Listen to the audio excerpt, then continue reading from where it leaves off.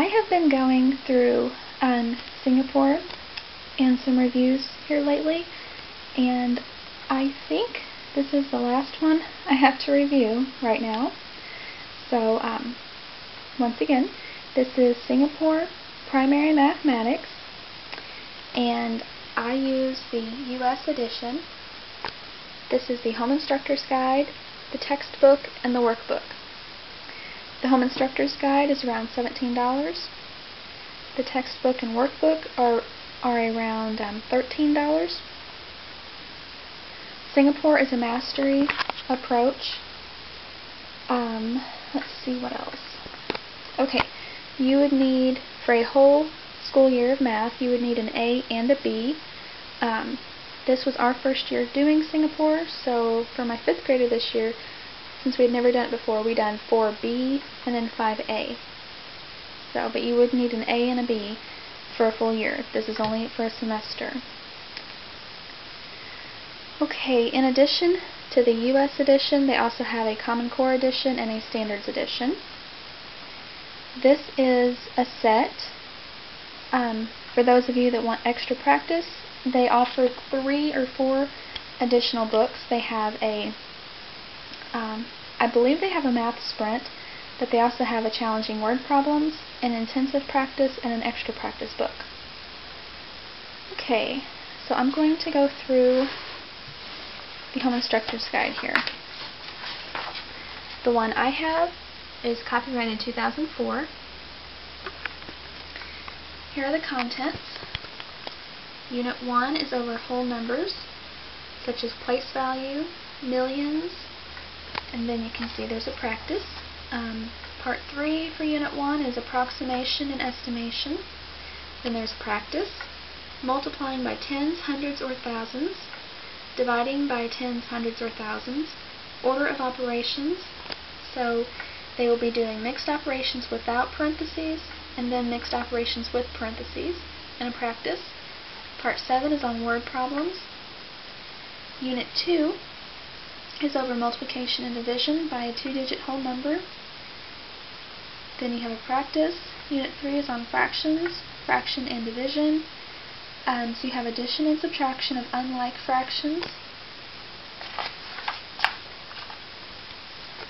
The child will also learn um, addition and subtraction of mixed numbers, um, product of a fraction and a whole number, so they will um, do conversion of measurements, um, product of fractions, the meaning of product of fractions, dividing a fraction by a whole number, word problems, review, area of triangle, ratio, equivalent ratios, comparing three quantities, angles, so they'll be using protractors, measuring angles, compass points and angles, finding unknown angles, and there's reviews.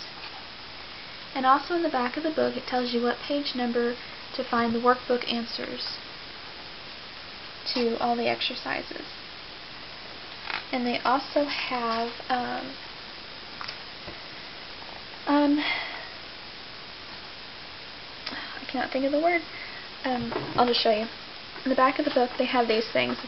In the appendix section, they have um, things you can um, copy and cut out or laminate. You know, this would help for the fraction unit, you know, little hands-on um, things. Okay, that one didn't have very many. Alright, so here it tells you how to use the guide. So the light bulb is for objectives. The little um, notebook here is for a note section to the teacher. So each lesson will have a light bulb that tells you what's going to be taught during that lesson. Each lesson will also have a notebook to tell you, um, to give you any notes, you know, any background information. And then there's a black arrow for um, activities and suggestions and um, manipulative, hands-on things to help the child learn it more. Then there's a notebook with a hand pointing to it. That will tell you what lesson to do or what pages to do in the textbook. Then there's a notebook with a pencil on it. That will tell you what pages to do in the workbook. And then there are the um, little dice for any additional games. So here is each home instructor's guide also has a suggested weekly schedule. And this is what it looks like. And so they expect this book to last about 16 weeks. So whenever you get two of these books, you know, there's a full school year, 32, 34 weeks, depending on how many weeks the other one has. So, for week one, you'll be learning about whole numbers. Your child will be learning about place values. This is kind of what they expect you to do like the first day. Place values in the textbook, you'll do pages 6 and 7, problems 1 through 3. In the workbook, you'll do exercise 1, and the materials, the hands-on manipulatives, you will need base 10 blocks. Okay? And then the next day, you'll be doing millions, and so on. So that would be week 1. And then here's week 2, and week 3 and 4, and so on. So it just um, breaks it down for you. It's already done all the planning for you. Okay. Then it tells you the materials that you will need. So you'll need a base 10 block, four sets of number cards, 0 through 10, fraction circles or bars, counters, protractor and ruler, and square grid paper and a compass. So here is the first lesson. Unit 1, Whole Numbers, Part 1, Place Values. So this is the topic for that lesson. There's your little light bulb and it tells you that in this lesson the student will interpret numbers up to a million in terms of place value. They'll read and write six-digit numbers and corresponding number words. They will compare and order numbers within 10 million. And it gives you a little notebook there telling you that in 4A, students learn to relate five-digit numbers to a place value concept and to order numbers within 100,000. And it, you know, tells you some more. Now this, um, each of these home instructors guide guides for um, they don't do it every single lesson, but occasionally you will see a US section and then you'll see a 3D section here. I have the US edition, so that's what I use. But the first edition created was it's called the third edition and they don't I don't think they sell those anymore, so you don't have to worry about that unless you you know, can seek it out and find it. But anyway, but that's the information you would read if you did have the third edition of primary mathematics. Okay.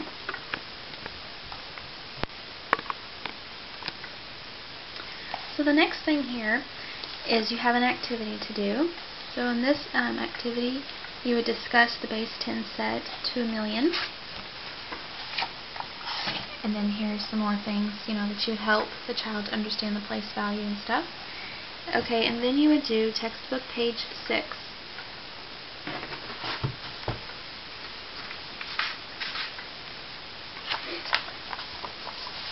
Alright. And the textbook page 6 is over whole numbers, place value. Okay. And then after you went over that page, you know, um, this is the Home Instructor's Guide, so these are like the questions you would ask concerning this textbook page. And then now that you've done that, you would do page 7, problems 1 through 3 of the textbook, and these are the answers. Okay, so here's number 1, and your child would just tell you the answers that would go where these green boxes are. And you can see that it says at the end of each textbook um, assignment for that day. It tells you what workbook page to do. Right, so after you've done that textbook part there, there's another activity to do if you think your child needs some additional help. And there's a different activity here, there's another one to do. And then you do the workbook exercise 1, just like it said over here in the textbook. So, exercise 1 in the workbook.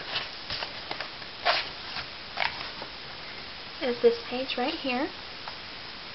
You can see it follows what they were learning, you know, place value, writing the um, numbers out in word form, and it's just front and back. Okay, so that was one lesson.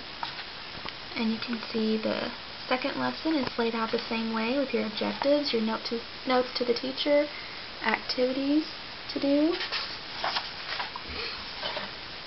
the um, textbook to do, another activity, and these are the answers, and then, well, some things to go over, sorry, and then the workbook to do, and that was another day. And then um, the third day they would have a practice in the textbook. So, this was day one, and these two pages are day two, and then day three you have the, the practice, which is right here. And the Home Instructor's Guide gives you the answers right here for the practice. Okay. So, um, sorry this is shaky. Alright. So, um, I'll just flip through some of these pages here, just so you can see that they are all laid out the same. Okay. But in all these, you would need some kind of um, manipulative. Sometimes it might just be paper. Folding paper up and using that for fractions and stuff. Alright, and like I said, the answers are in the back of the book to the workbook problem. Alright, so that was the Home Instructor's Guide, and here is the textbook.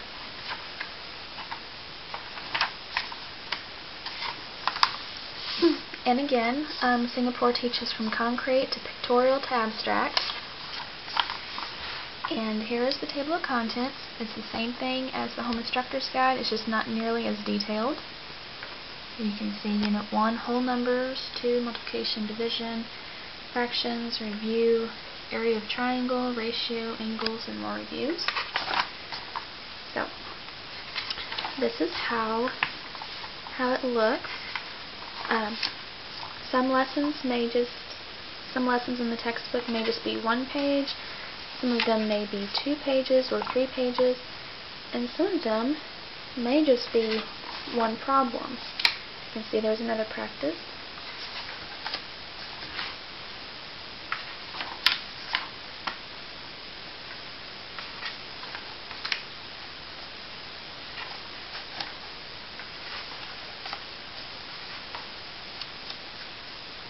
And they always have these little arrows here to tell you what page to do in the workbook.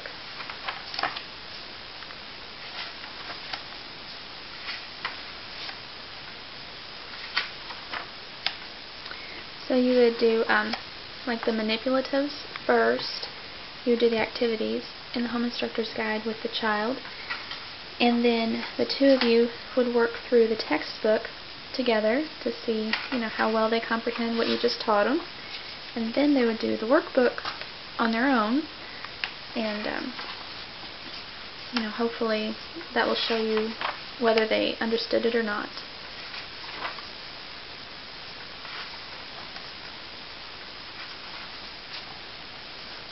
You can see here they have um, adding and subtracting fractions, multiplying fractions, dividing a fraction by a whole number, have word problems here. Like here's one. Um, said Marisol made 300 tarts. She sold three-fourths of them and gave one-third of the remainder to her neighbor. How many tarts did she have left? Some of them sound kind of hard to figure, but, um, but you know, they teach you how to do that. I wanted to show you this review here. You can see it's a pretty long review. It starts here, so it's this page, these two pages, and this back page. Total of 42 problems. Um, you know, you can do it however you want, but the way we handle it is um, I'll just, you know, she may do, if I want her to do every single problem, then I may just give her one page for that day. If if it's several, if there's several problems that fall under one topic, I may just have her pick out, I may just pick out like one from each kind of concept for her to do.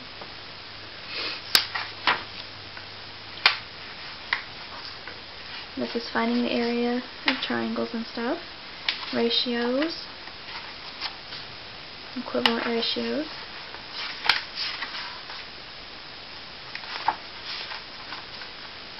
Practice.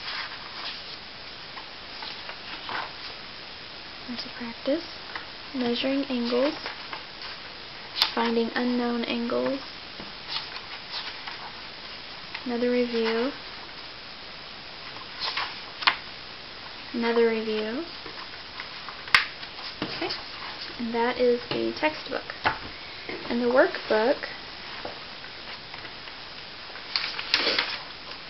right, you can see it also has a table of contents um, into the units, like Unit 1's over whole numbers, and these are the exercises in each unit.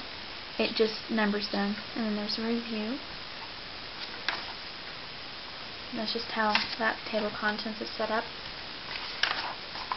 And the workbook is just black and white, at least in the U.S. edition anyway. The textbook had a little bit of color to it. You know, but like each day um, would have usually just one exercise to do. Sometimes there are two or three or even three exercises to do that they expect you to, to do for that one day. But you can see I just highlighted the ones, just random ones I wanted my child to do instead of doing every single problem. Because I knew that you know, she understood it, so I wasn't going to make her do every problem.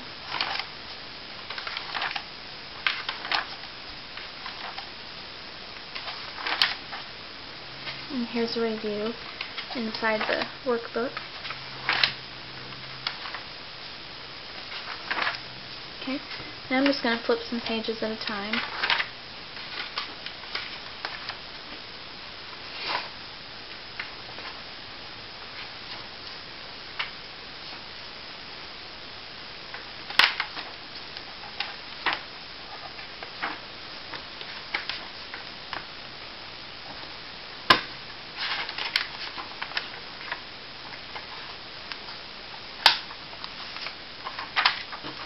And that was the workbook.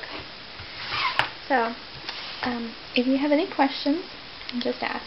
Thanks for watching.